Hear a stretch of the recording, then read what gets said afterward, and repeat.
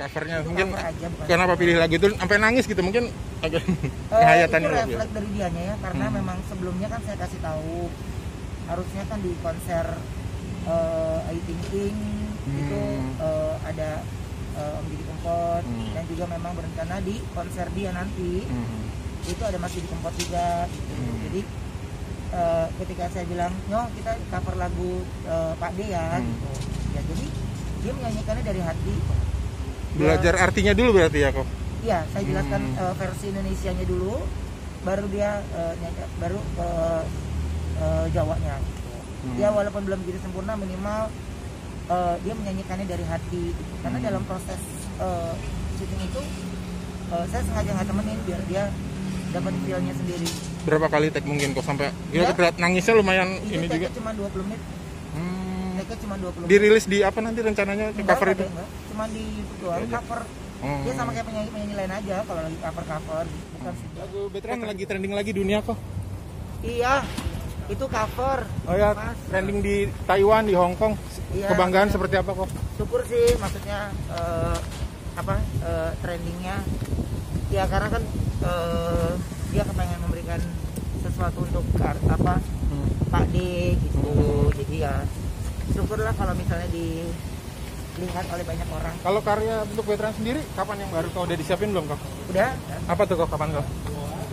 Kok sebentar aja kok? ada lagi yang Ya, baru ada banyak ada banyak lagu single-singlenya tapi memang kita lagi ngabisin untuk video klip yang dari Kemarin. album yang kemarin kan ada dua video klip yang harus diselesaikan Nah, baru tadi pagi selesai syuting video klip yang judulnya? di rumah ya Happy Family Oh. Syutingnya juga di rumah jadi lebih kegiatan di rumah aja semuanya Video klip baru di rumah baru berarti kok. iya di situ aja ya memang kan nggak bisa ke mana-mana kan dan terus syutingnya ya kayak ngevlog aja Terus menghasilkan berapa lagu selama di rumah kok? apa Menghasilkan berapa lagu sih selama di rumah?